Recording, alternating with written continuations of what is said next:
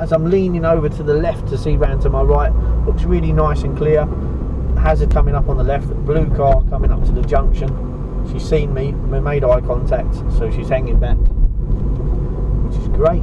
Another hazard coming up, width for the road, also the traffic lights. I'm just easing up on the gas pedal, 15 miles an hour as we're coming down there. Starting to brake now for the actual traffic lights.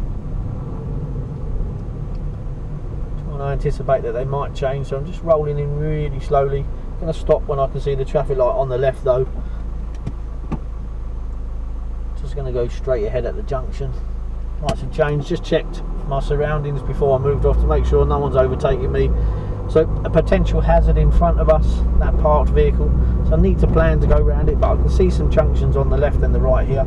Just check my surroundings, making sure it's safe to move out to the right. Coming to the end of a road, another potential hazard.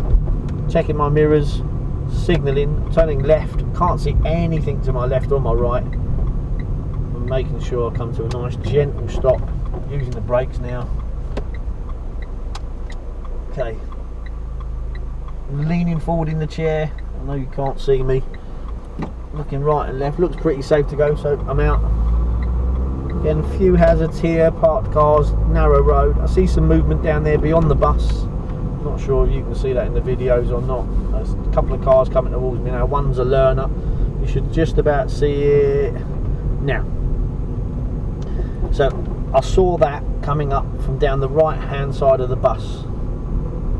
So remember to look over, look through, look under, but look around.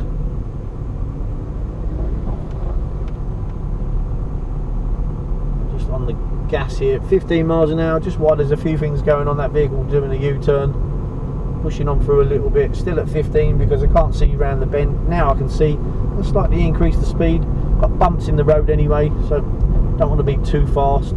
See some flashing lights on the left, so there's a dust car in the road on the side there. Another potential hazard, the vehicle's gone round to the left, so there's no left turn signal to be made because it's just following the road. Nice and steady into the bend. I'm at 11 miles an hour there. Gonna do a right turn at the end. Making sure getting the right turning position as close to that line as possible.